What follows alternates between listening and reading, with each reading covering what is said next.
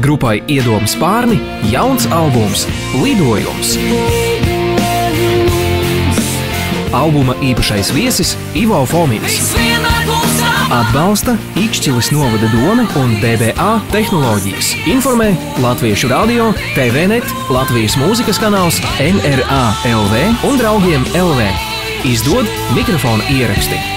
Jaunas un zināmas dziesmas grupas Iedomas Pārni albumā Lidojums.